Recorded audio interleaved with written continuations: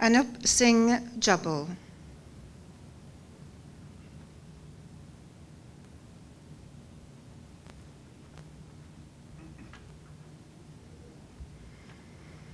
After joining the Rotary Club of Burnaby Hastings in 1986, Mr. Jubble soon became chairman of the Rotary's International Service Committee. He was the driving force behind two very successful Rotary fundraising activities the 1988 International Polio Plus project, which notably raised large sums of money for the immunization of children around the world, and the 1989 Rotary Project Eyesight India, which funded cataract operations for India's poor rural residents. His leadership and initiative have brought credit to the Rotary Club and honor to Canada. Mr. Jubble.